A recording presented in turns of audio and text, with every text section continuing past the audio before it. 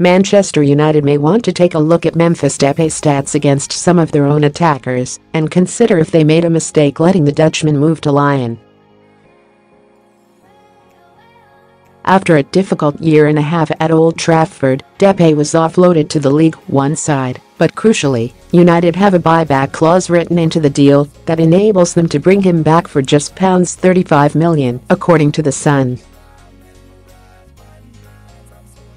Depay certainly arrived at United after establishing himself as one of Europe's top young talents at PSV, and it's easy to forget just how quickly he was thrust into the limelight of the Premier League.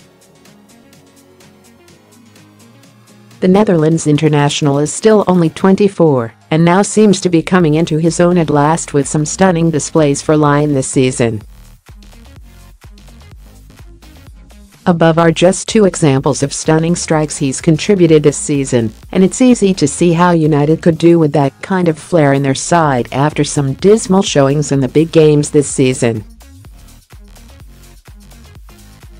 It's all the more damning when they work so hard to replace their old no. 7 with Alexis Sanchez, who has actually fared worse with the famous number than his predecessor. But how does Depay compare against United's current crop of attackers?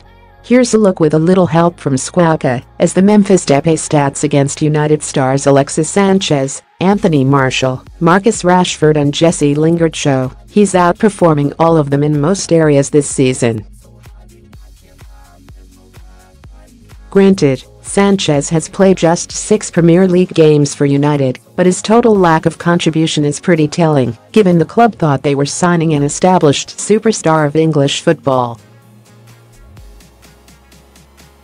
with United so often lacking inspiration and creativity against more compact defenses, Depay's chance creation stats are perhaps the most impressive. He has made 43 chances for Lyon this term, more than double that of Rashford, and considerably more still than Martial and Lingard despite playing a similar amount of games.